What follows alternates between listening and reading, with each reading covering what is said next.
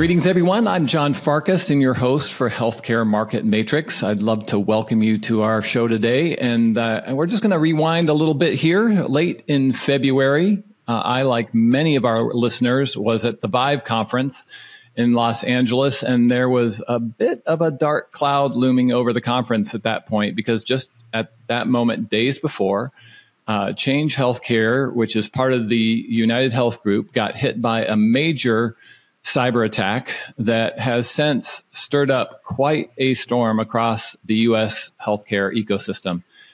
And let's just be clear it was not just a small hiccup, it was huge. Uh, a group called Alpha Black Cat, now a notorious ransomware gang, has uh, claimed responsibility for this attack. They managed to snag millions of Americans' healthcare info, which is obviously having major implications. And the fallout has been really messy. Hospitals and pharmacies have not been able to process claims or prescriptions, basically gumming up the works for a lot of providers and patients alike.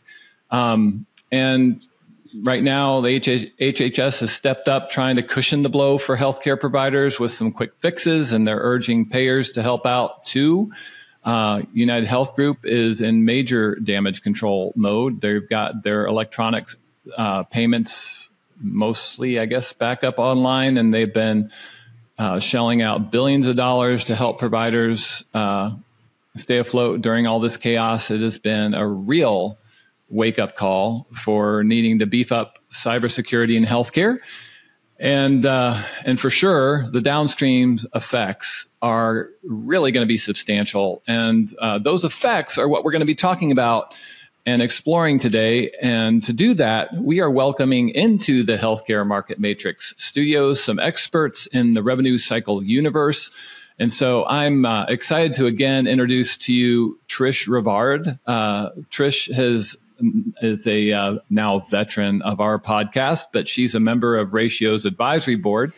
And she's the CEO of Eliciting Insights. They're a healthcare technology market research and strategy company that's bringing together just amazing amounts of experience and expertise in the revenue cycle universe and other areas, doing some deep collaborative work right now with HFMA, uh, doing some combined reports that are really bringing some strong insights across to, uh, to folks in the space.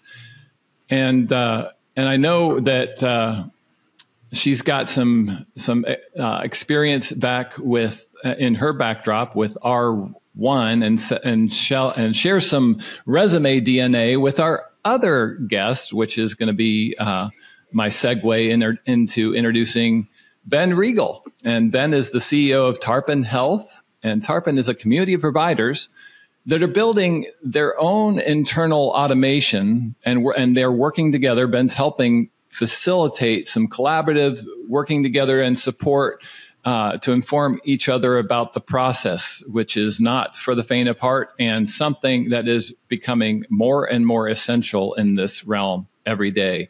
Um, Ben's also the host of another great podcast that any of you interested in the RCM space should tune into. It's called My Good Friends. It's the uh, and part of the RCM Leaders Forum, which you can check out wherever great podcasts are available. Um, and the RCM Leaders Forum Ben is doing some great work to gather some of the top healthcare system RCM innovators to get together and talk about the world and all that is in front of them. And uh, and so obviously, our topic today is front page news for that group. And uh, and these two have been spending a lot of time looking at what the implications are, and uh, and so today we're going to be diving into that and talking about what do we need to know? How we need to be considering the impact as as the our audience looking at helping lead healthcare technology solutions and move that into the market. What do we need to be knowing and being aware of that are going to be some of the ecosystem impacts and things that are going to need to affect our efforts as we engage the market. So Ben, Trish, welcome to Healthcare Market Matrix. Thank you for having us. So uh, I, I'd love to, you know, we're hearing tons about this breach, right? I mean, it's it's obviously uh, a major major deal. Just walk us through the timeline of what happened there and what we need to, you know, it's a pretty fascinating series of events. Um, there, there's a lot of uh, of what to do and what not to do that can be extracted from what happened. But I'd love uh, I'd love for you guys to kind of walk us through the anatomy of uh, of the events there. Well, I've done a lot of work on this. Trish has done more research on just what's you know what's happening currently. I've tried to piece together because I was, as I told you, John, I was on vacation. so this happened. I was on vacation, and I'm sure Trish would say the same thing. I thought, oh, this will be. I'll figure this out in a couple days. Like I got back and and then I got back to my email and I was going through my email and I had a bunch of my community leaders, big health system, VPs of Cycle, email me and say, Hey, can you pull uh, like a town hall together? I did these town halls in like the pandemic. Just pulling people together is kind of like a therapy session because we didn't know what to do, right? Like, like if everyone remembers, kind of like March, February of of uh, 2020. Um, and so I was like, I guess, like, I didn't realize it was that big of a deal. So this is like Tuesday, the week following. By Wednesday, I had 45 health systems join a call, like less than 24 hours. Wow. And we got on that call, and it was clear a couple things were clear. One is um, that change reps were calling um, our health system leaders and asking questions that they should know the answer to. And so it was like instantaneously realizing these guys don't have access to any of their data. And so the next day, which was like a Thursday, I had heard from a friend who had talked to someone on the inside at Change and had confirmed that they did not have access to their laptops. And actually, I still don't think they do. Um, and so they couldn't access anything. They couldn't access their own data. That was, was all shut down or lost. And that the the infiltrator black hat actually didn't just get data which should be you think would be the primary primary thing um, that people be worried about is actually what they did was they got the data and they um, what we can understand is they were able to get what they call root admin access and actually delete and destroy some of the programs. Uh, roughly 100 and some programs were affected. And that was the bigger problem is that they just went in and kind of damaged things. Yeah. So they, they didn't just take what was in the pipes, they screwed right. up the pipes. Correct. So on their way out, they're like, screw it, we're gonna like we're gonna do whatever we're gonna do. And my guess is they probably just you know, like people are like, well, did they target the clearinghouse? I'm like, no, they probably literally just ran up into the system and they were like, oh, what's what's what's all this data? Because clearinghouse would have had the largest amount of data by far. It wouldn't have been close. Um, and so they probably just ran up against it, took all the data, and then just did whatever they did. Um, by that Friday, Change had another, you know, by that Wednesday, Change had moved from daily updates to bi-weekly updates, which is already a sign that was like, this isn't going to get fixed in a couple weeks. By Friday, they were telling people, um, you need to move to another clearinghouse. And what's interesting is all during all this time, only thing in the news is about the pharmacy. And the pharmacy was a major problem because that could affect patients. That's really quick effect, right? People yeah. really immediate effect. Everyone can feel that. But the bigger impact really was that pay, hospitals, big health systems, and everyone else, physician groups and the like, couldn't get claims paid. right. And so Trish, what is it? Thirty percent of roughly the health systems in the U.S. Yeah, so, have changes yeah. as their yeah. Change Healthcare is the largest clearinghouse for both hospital and for physician. When we last time we read the market share, it's a little bit dated, but we had Change Healthcare at about thirty percent of hospital claims and thirty percent of physician claims. That's significant and by far the largest of any um, player in the right. market. And what wasn't well known then, but is well known now, was that Change is actually the intermediary for a number of uh, plans, payer plans. And so, and Change has never put out a list of those by to this date, by the way.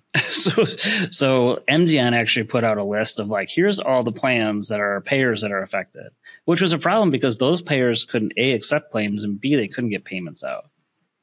So they couldn't even send payments if they wanted to because it was, you know, like uh, most people don't realize all this is electronic now. Almost no one's sending paper claims until the last six weeks. And they're certainly not receiving paper checks. So we did another town hall the next week. And what we started hearing was people were getting paper checks sent them in the mail, which is great. But if you're a big health system, you haven't kind of, you haven't cashed a check in like long time. I don't know, Trish, how far you want to go back? 10, 15, 20 yeah. years? You know, like it's been a long time. Like they don't even know they're getting checks. Yeah and where are those checks going to? Like what address are they where those checks to? going to? Yeah, right. Big, big, big, So that Friday, they tell people to call. Like you're going to have to seek other means of doing another clearinghouse.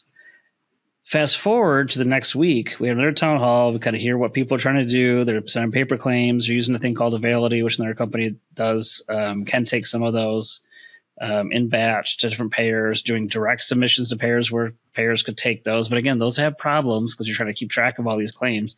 And think like millions and millions and millions of claims per health system, right? This isn't like, oh, we're sending through like a couple hundred thousand. This is like, it's like all of them. Yes, like all, it's like all of them if you're a health system. And by the next Friday, they said, no, no, no, wait, wait, wait, don't do that. We're, we're going to fix this. And they got in front of, they got called in front of the White House, right? Like they the CEO of United Health Group actually got called in front of the White House to like meet with HHS leaders and have to give a date in which they could have this fixed. Well, they gave it to March 18th, which up until that point they had literally told no one they could even fix the problem. so, so they they then tell people like, oh, it's gonna be fine. Well, at this point, people are already switching clearinghouses. Which, to give some idea, Trish live this world this isn't even something that people would consider to do within a six month time frame, let alone like a six week time yeah. frame. So switching clearinghouses is one of the most painful things to do. And most providers actually wait until they switch EMRs because in order to switch Correct. your clearinghouse, you have to re-enroll with every single payer. So for for whatever that's the way our healthcare system is designed, and that happens really fast. Yeah. So um, so you have yeah. to go through this enrollment process specific to your clearinghouse. So you can't be enrolled to submit electronic claims or enrolled to receive electronic payments and then switch clearinghouses. No, you have to re-enroll with a new clearinghouse, and that process typically takes between thirty days and sixty days for the enrollment. And then, of course, you know, every, and especially the smaller payers, yeah. right, Trish? I mean, this is mostly the, the medium sized yeah. smaller payers. So you get this process going through, right? So there, there's just so much here where it's like, okay, now we can't get claims out. And so then what starts to happen is HHS comes out with like, you know, we're gonna, they're getting all angry. They're gonna, you guys need to do your part. And the problem is they really have no, no they don't idea. have power here. Yeah. so the challenge is they don't really have power except over the Medicare Advantage plans. And so the Medicare Advantage plans, they have some power there because they, you know, they're the payer, right? Ultimately, like the the other payer plans are just the intermediary. But like most times they don't really have power. And so they when they came out with this statement, I I laughed at it. I honestly just was laughing because I was like, this is useless. You you you're not helping anybody by doing this, right? Because it doesn't really affect the total of what's going on so you have this, and then Optum comes out. Optum's like this other company, which is kind of in the United Health Group owns, which is what really bought Change. And Optum comes out with this like we're going to pay people on a loan basis so that we can pay them advance payments.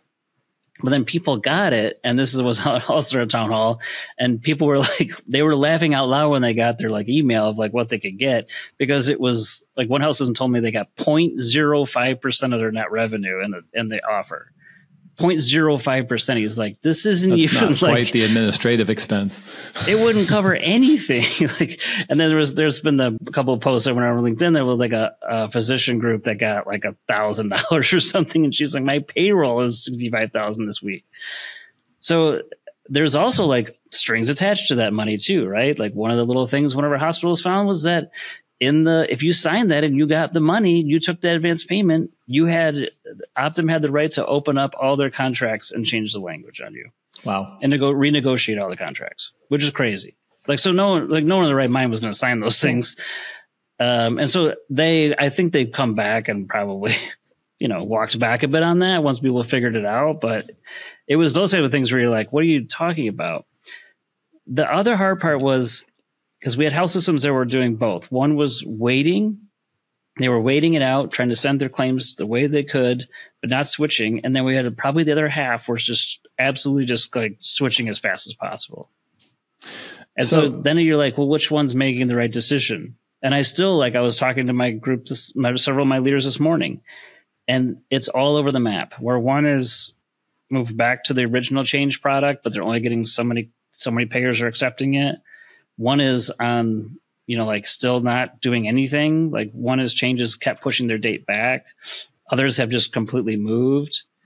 It's all over the place and partly because there's no guidance. So there's a whole lesson around here around communication and like what was happening as far as what they were communicating out because it kept changing and no one was going to know the real answer, which we still haven't heard the real answer of what really happened. Yeah, it it reminded me a lot about what happened when the a, a couple winters ago when the big storm hit Texas, and all of a mm-hmm. sudden the power grid went down, and we all we all together started confronting the inter, interconnected nature of our of our power grid that was having implications all over the place not just the not just ground zero and and it, it, it's similar to uh, it's similar to that right like we're now getting educated together on just how uh, codependent this framework is that we've been living in right now. And we're having to figure out okay, that's not a good way to do it. What are we going to do about it? So maybe it would be good to just jump back and say, okay, for, for those who just don't live in this world all the time, what is Change Healthcare? Let's take a look at the, the scope of what they do and why this ends up being a little bit of a uh, codependent quagmire. Um, so yeah. there's a number of different elements. Yeah. So as, uh, as Ben mentioned, so Change Healthcare is a, a clearinghouse, right? So um, you know, in this day and age, and that well, means lots of different, lots of different technologies. Yes, lots, lots yes. of different technologies, but every hospital, every provider needs to submit claims electronically, and they have a, a clearinghouse vendor. Um, and typically, there's one. There may be several, but there's one primary um, that they use to submit claims electronically and then receive electronic remittances. Um, Change Healthcare, as Ben mentioned, is also the front end gateway for about 8% of the payers out there. We think it's 8%, like Ben said, but we don't know the, you know, exact exact number, kind of a you know little right. industry secret right now. Um, and then Change Healthcare also offers a full suite of revenue cycle solutions. So they offer um, eligibility checking for health systems. They have a lot of traditional, you know, revenue cycle um, products for um, you know pre-service you know helping to register the patient then they have a lot of back end revenue cycle related solutions for following up and then change healthcare also operates a pharmacy call it clearinghouse, call it pharmacy switch, depending on who you talk with. Um, and that was what has been mentioned. That was what was in the news. Yeah. Um, the pharmacy switch went down for Change Healthcare, and that is currently somewhat restored. Um, you know, if you look at you know the Wall Street Journal or New York Times, you know everybody thinks it's all set. Everybody thinks it's back to normal. It's not. Um, but patients are getting prescriptions, and so that's why you know it seems like the you know spotlight from a mainstream media has come off of Change Healthcare. Um, Change Healthcare. Yeah, safe to say nothing's back to normal yes, right now. Exactly when it's not. Um, functioning at some level. Yeah. Change Healthcare was acquired by Optum slash United Healthcare in the fall of 2022. Um, there was a lot mm-hmm. of you know industry concern about these mega mergers and everything, and quite frankly, I um, I was surprised. You know, as a you know former clearinghouse person, I was really surprised that the um, DOJ approved it because essentially what that did. Um, so I'm, I, I, do have to question whether the regulators understood what they were doing. Um, they really fun, really fully understood the scope of, of what they were allowing. But Change Healthcare, being part of United Healthcare, United Healthcare is the largest uh, private health insurance company and yeah, United Healthcare, through its acquisition of Change Healthcare, now has access to rates of every single one of their competitors because when you process remittance advices, that includes the actual amount paid for every single service. So, you know, in terms of the, the scope um, of Change Healthcare and the reach of Change Healthcare, this is significant. Um, and the fact that it's now part of United Healthcare is that much more significant in terms of the role it plays. It was a big deal at the time, and it was like fought heavily by the hospitals. AHA, everybody was fighting that that acquisition to the point where they then there's a, a week prior, I believe, to the actual breach, there was another like DOJ filed another potential lawsuit around it. Like they went back at it at basically right before the breach, realizing that it's a it's a total conflict of interest to to be a payer, the largest payer in the U.S. and now the largest company, mind you, the yep. largest healthcare company in the United in the United States. And also owning a bunch of the data parts of this other third party process. It, it made no sense at the time, and now look at it. And I actually think my opinion is that if change had been independent, we would have gotten a totally different type of communication. Mm-hmm. Yeah, I, they I were they were that. they probably had a whole lot of crisis communications conversations going on that were com- I can't even where, imagine. where where each end was conflicting against the other because yes. there's there the the agendas were very were very different. Well, one, I got the clearinghouse alone, was, John, is a hundred and eighty million dollar business. Yeah. So at some point, it became clear it was business preservation. That's the agenda. And I get it. I, if I'm, I'm, a business owner, I totally understand it. Uh, and, and I always I preface everything with like change is a victim here. Like it could have happened to anyone, but definitely I think the United Health Group acquisition and being the parent owner, it definitely affected what how it's come out. I, I can't yeah. I can't acknowledge I say that, that it couldn't that it hasn't had a yeah, and it, it, could it the fact that it was owned by United Healthcare could have you know raised the uh, the likelihood of it being a target. Um, you know, for the hackers, could have made it more interesting. Possible. What What's yeah. really um, what, what we get a kick out of on the Eliciting Insights team is that um, as soon as the um, acquisition went through, um, United's acquisition of Change Healthcare, Change Healthcare was re- rebranded as Optum, and the Change Healthcare name kind of disappeared. And then as soon as the breach happened, all of a sudden it was Change Healthcare. It was like, like oh, it's you know change. a lot of a lot of PR work was spent on let's let's reinvigorate mm-hmm. that name and let's show that it was Change Healthcare. it wasn't Optum and it wasn't United Healthcare. It was you know this asset that we purchased. Um, yeah. Oh, I mean, you know, we don't really know much about it. It's yeah. weird.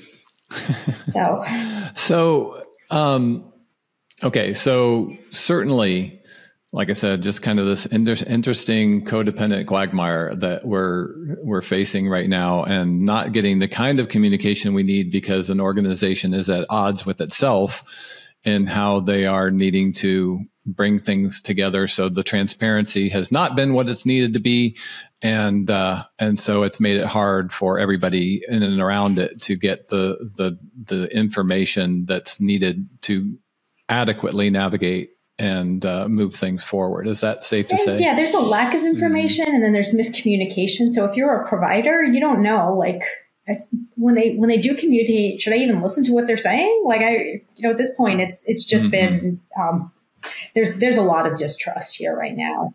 At one point, John, they, I told Trish they like three weeks ago, like two weeks after it happened, they were like they put up marketing team put out something that said like eighty percent of claims are being routed rerouted and being functionally sent through.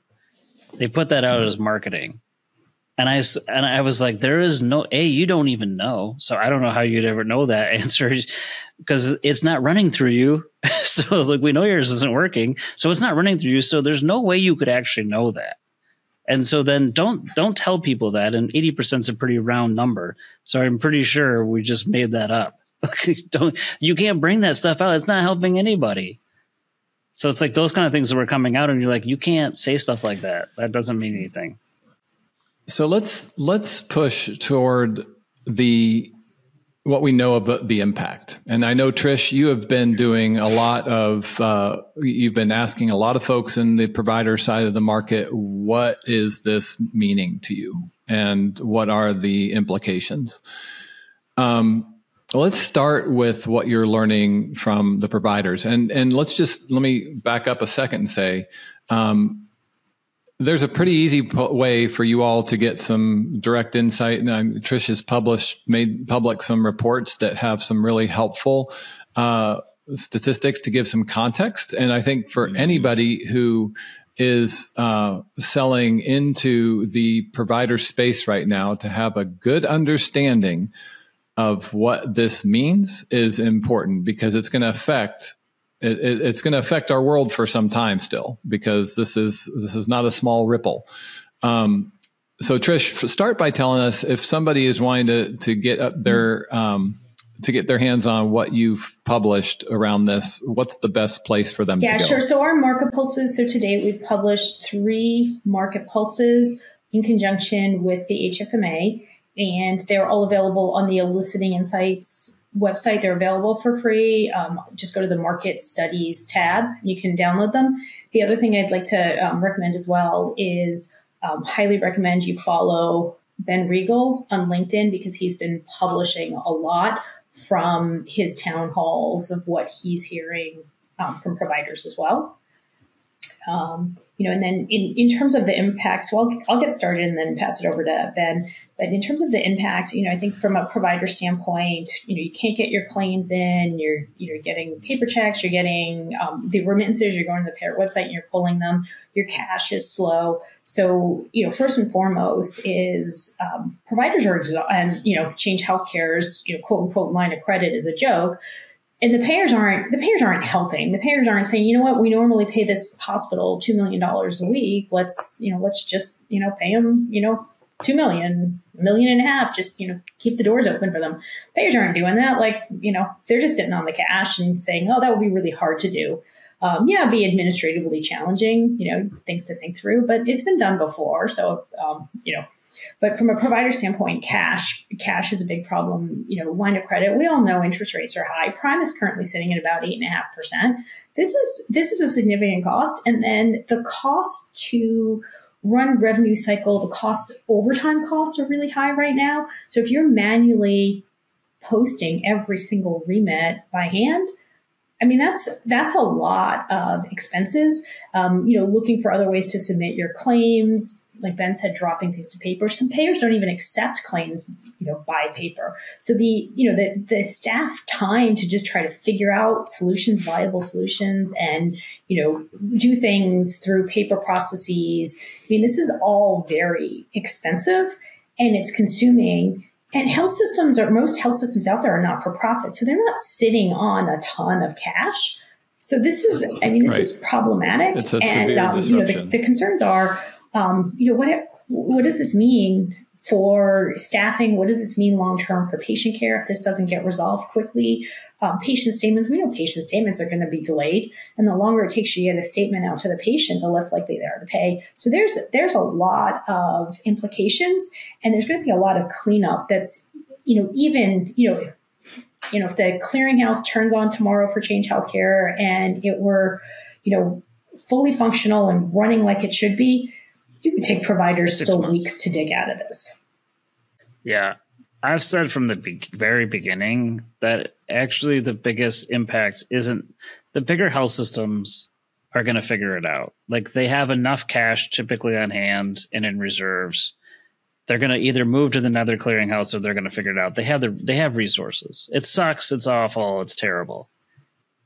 I've said from the very beginning, the biggest challenge actually is that physician groups and smaller community hospitals are screwed. They have the biggest chance of actually just flat out not being able to continue functions because they don't get the same priority. If I go to like another vendor, they're not getting priority over, you know, Henry Ford or Advocate. Like those are enormous health systems or Providence, right? Like these are these are going to get priority over everybody else and they, they're coming system, from an already compromised spot. Right? Correct, they, and they probably the, don't have they don't have a ton of staff, and they probably don't have like a ton of days cash on hand. And even if they did, it's still like it's significant impact. I think I think those are the groups that are like they're kind of left to who are the devices of of the whims of that. And that's the groups that I think the government should have stepped in sooner and been like, here's what we're doing. And if you're this size and you're this, like, here's the loan you can take, or here's the advance payment, or whatever they needed to do. And that's actually what they've not done. I, am still shocked by this, to be honest. Yeah. I mean, when COVID hit four years ago, they did the it immediately almost. Knew there was going to be a significant impact to the provider community. And now it feels like the government knows they can't can't push United Healthcare to do anything. They can't push the payers to do anything. So they're taking this really weird position right now. Yeah. Yeah, which in some sense it it well, in some sense it ought to be ought, ought to be a step more apparent than what happened with COVID because it's directly about the pipeline, right? I mean, it's just saying you're not getting paid and it and and so that seems a little different than we're not sure. Yeah, but how, COVID was about illness. COVID was an actual illness, yeah, and so they knew yeah. the health system. Right. This is like kind of nebulous. Well, some are affected, you know, and it's like, well, it seems like they should figure this out. Like this will like this will run its course. I'm like maybe, yeah, and maybe you know, hopefully it will. Hopefully it will run its course. Yeah. So, but we are at this point uh, past a month of this being an issue and it's still an issue, right? It's not like there, there's still mop buckets out and they're they're trying to get the water off the floor because it's still it's still yes. a wet mess. And, and there's still another outlying outlying issue that no one's really talking about is the fact that data is still out there. So they got six terabytes of data. They paid the ransom, and the, this is a, you can't make this stuff up. Those two guys, the two leaders of that a Black Cat, took off with the money and so they got another post that came out. I didn't tell this part of the story that was like, hey, we were the actual pe- people that were working on this breach, and we have your data, and they talk about their money. So United Healthcare did pay, or Optum did pay $22 million in ransom. That was confirmed. Yep. In Bitcoin. so, I mean, you can't make this stuff up. And then there's that data is still out there. So, a that's the largest HIPAA would be the largest HIPAA violation uh, breach in history, if I'm not mistaken. And we, in theory, would have to notify every single one of those patients, which, Trish, I think the estimates are what, a, a third of the population in the U.S. Yeah. have some type of breach. Well, yeah, the, the which, way that the way that I, uh, I I tell my you know, my neighbors and my family is if you've been to the doctor in January or February of 2024, you've been to the hospital, you've been to a physical therapy appointment, you've been to the dentist, you've had any procedure, you've gone for an x-ray, you've gone for an MRI, you've basically done anything in a medical setting, there's a good chance that your data was breached. So there's a good chance. You know, um, I, I, think we all just need to assume our data was breached you know, unless we yeah. So twenty-two million dollars in ransom, and who knows how much in continuing black market profits from selling off the the data that they get to sell off in those strange uh, Tor networks that uh, where they where all that stuff ends up being marketed. Um, I just was listening to some information about that this morning. Um, yeah,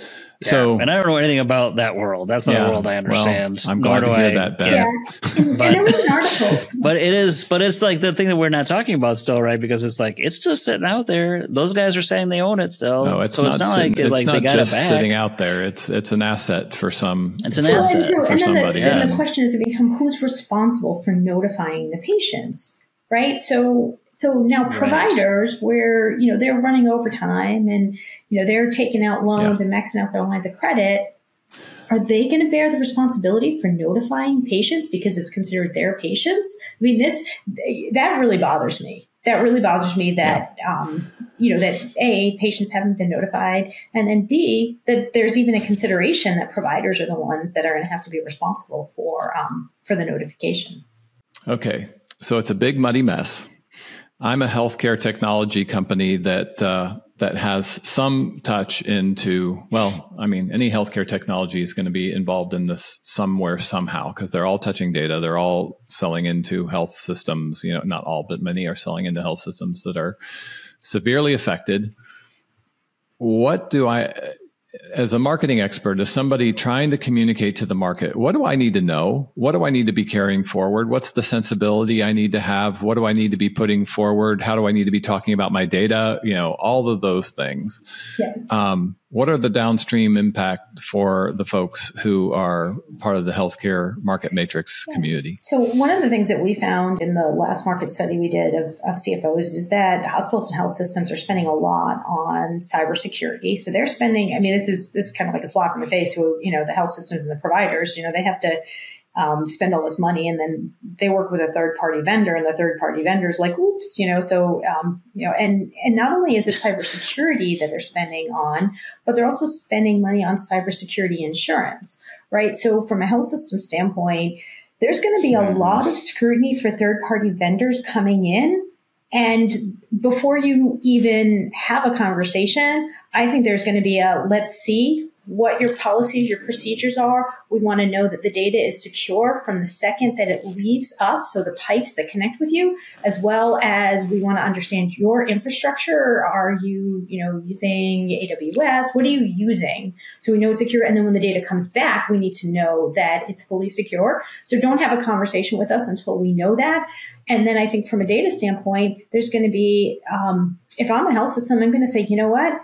Epic may not have the best solution, but it never leaves Epic. So maybe I should just use the Epic vanilla solution for RevCycle for clinical care. Um, so I think that um, you know I think it's going to be really hard for vendors that you know most vendors do. You need the the data to move in and out, and if you don't have a tight story, um, it's going to be really hard. Yeah. yeah. Cybersecurity is becoming the number one priority for a CIO and even maybe the CEO. Yeah. So, so what to hear Overnight. here is that, that if, if how you handle data has not been a primary part of your message, it's need at least for the foreseeable it's you've got to fly it farther forward and, and if you don't have something that's worth bragging about you need to go figure out how you're going to put something together that's worth bragging about because uh, it's going to be it's going to be under tighter scrutiny. And and so uh, as a as an organization if you if there are some holes in your data uh, protocol you're going to want to fill those uh, quickly and diligently and then talk about it. Um, because that's going to be on that's going to be pretty front and center for anybody who's ha- having healthcare data flow through your pipes in any form. Yep. Is that a oh, fair oh, absolutely. summation? Absolutely. Yep. Or changing your whole process to be it's using data within their system, your things on their system. I know some groups that have like totally switched around how they're even doing it. They're not getting data anymore. They're like putting it on their system on their data like within their own network. Yep. So they're not even, and they're never leaving. So you're going to see all kinds of stuff like that. I think happen where it's it's definitely going to slow it down. And I think before you'd be like, oh yeah, we're certified or we're this and we have this. It's like no, no, no. You're going to go through a whole audit process and quality process is my guess. Whereas that wasn't commonplace before.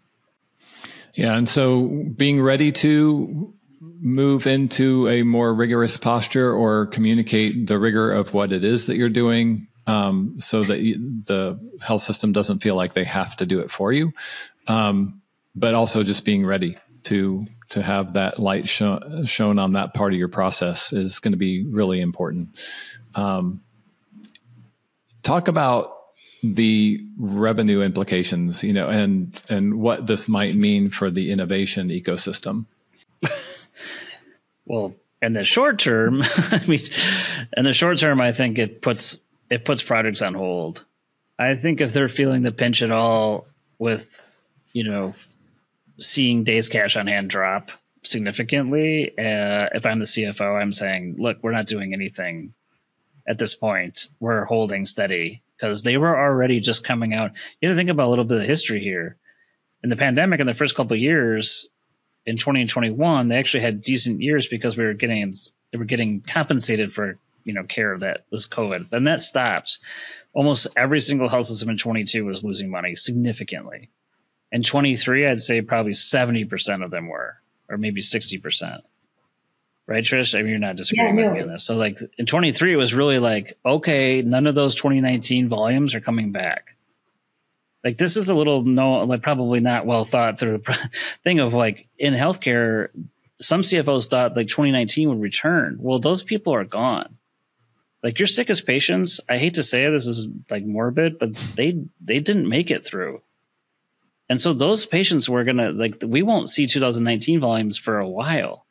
So the volumes actually dropped pretty significantly, and so they had to adjust. They had to adjust everything. So 23 was a year I would say of like trying to figure out how to make money again, which I would say most of them figured it out. So then you get to 24 and you're like, okay, we're like, we're going to be good. I was just talking to a CFO friend of mine, a big health system, and he's like, okay, we're coming to 24. I feel like we're on the right path. We're getting we're getting to two or three percent my operating margin, which for health systems not bad. And then we got a and, gut punch. and they just got punched in the gut, right? So you imagine being like, okay, well, we're doing the same things. Stop everything that we don't have to until yeah. we can be sure that we're going to get stuff out. I mean, we knew I knew a health system that was holding nine billion dollars in claims. Yeah. yeah. yeah. Just think that through just a little bit. Nine billion dollars. Like that's not, and it Kodiak's that's been a, putting that's not out, cycle. That is Rev uncycle. uncycled. As we're not cycling anything. Yeah. It's just holding. Yeah. And I don't know if you've seen Kodiak stuff, Trish, but Kodiak is a company that used to be the old Crowe, which does a lot of financial yeah. um, metrics for groups. Uh, what they have more than like they have like half the hospitals, and they were saying like uh, claim submission cash or cash coming back in was down more than 50% over their whole part, which isn't all change, right? They don't all have change clearinghouses. So think about that for a minute. Like it's that's significant. Yeah. Wow. Yeah. So yeah, like Ben said, I mean, um, it was it was finally you know um, the Kaufman Hall publishes uh, health system margins, and um, the end of 2023, hospitals were back to a two percent margin, which is actually decent for hospitals. Which was way better. It's a, po- it's a positive number. It's a positive number. Yes. It's a little bit of margin. You know, it's on average. So we do have, we still have, you know, a lot of health systems struggling. Um, they're not for profits, and uh, and then you know then then this hits, and yeah, this is you know this is significant, and um, you know vendors coming in. So I think you know the vendors that are in RevCycle. I mean, they're you know they're on the phone with providers every day right now because there's you know impacts you know if you're even if you're like an ancillary rev cycle you do contract management you need to claim file so you you know you really have a pulse on what's going on. Um, you know the vendors that do ocr for paper remittances they're getting you know they're getting phone calls hey we need help. The clearinghouses so the rev cycle vendors have a strong sense of what's going on. Um, but the vendors that aren't close to rev cycle it, providers aren't going to be calling them back, right? They're going to be too busy. They're they're not going to be getting back to them, and um, you know they need to know that you know there's a there's a crisis going on right now, and until the crisis settles, providers aren't going to be in a position to you know buy new technology, implement to new yeah. technology, really focus on innovation. I think the only things that are going to be a focus for health system right now in terms of buying uh, for the you know next couple of months is going to be you know anything that's cybersecurity related, and then anything that's compliance related, anything that they have to do is going to be the focus. Yeah. So there, there it is. I mean, if we're going to sum it up, that's for the, those who are affected by this uh, this deal. That's going to be the the order of the day. So we just need to be aware of that moving forward, and knowing that that that what this has signaled to the entire ecosystem is a pretty high alert around cybersecurity, around really looking at how data is being handled and who has the opportunity to access and and uh, where where the vulnerable points might be um, I think that that's going to be an increasingly important thing. We're about at time here. I'm really wanting to make sure. So what what's very apparent to me, and I'm sure to the rest of the folks listening, is that we've got a wealth of insight around this uh, this area sitting in this uh, little interview here. So I want to make sure that our audience knows where to get a hold of you both. So if we could just kind of reiterate that, I know I talked about it at the front end, but Trish, if uh, somebody's wanting to find you, what are the good places to do that? Sure. So, um, so you know, reach out on LinkedIn And, um, you know, I have a website, so Eliciting Insights. There's, um, you know, if you want to get a copy of the market pulses, you can certainly download them. And there's a, you know, contact form on the website, you know, or just send an email to info at elicitinginsights.com. And, uh, yeah, I would love to hear from you. And Ben, how about you? Uh, probably similar. I'm obviously I'm on LinkedIn. Uh, you can find me on there. I try to be honest and give real uh, thoughts and what I think is happening on there. I have a unique perspective, I'd say, because I'm kind of in the middle of these things. Um, I have a community of providers.